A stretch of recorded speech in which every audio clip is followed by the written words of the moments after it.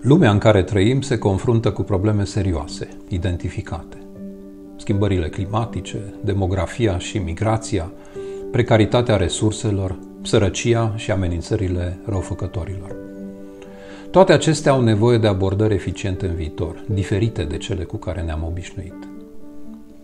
Lumea în care trăim are nevoie de proiecte, iar noi arhitecții ne pregătim pentru a face proiecte. A studia arhitectura înseamnă a alege o profesie foarte importantă pentru configurarea viitorului.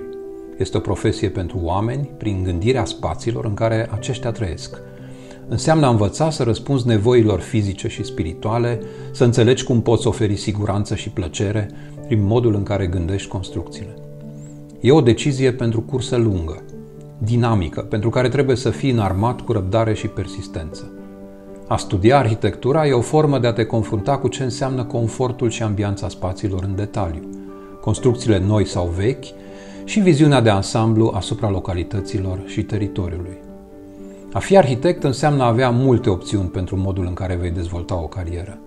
Arhitecții sunt implicați în planificare, în proiectare și în design. Arhitecții sunt implicați în administrația orașelor, în protejarea patrimoniului construit și a peisajului. A fi arhitect înseamnă a fi creator, educator, formator și comunicator important pentru aspirațiile personale și cele colective. A fi student la arhitectură e o competiție cu tine însuți, pentru că e un drum lung, dar presărat cu multe satisfacții. E o întâlnire cu ceilalți, membri ai unei comunități creative și foarte competitive.